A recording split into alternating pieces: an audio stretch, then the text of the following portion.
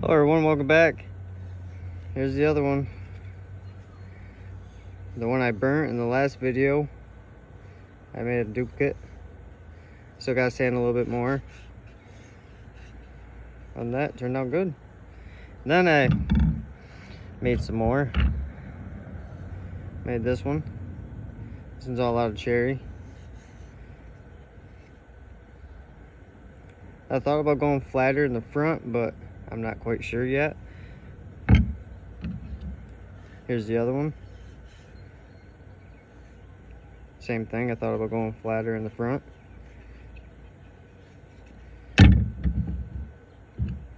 And this one I've been working on.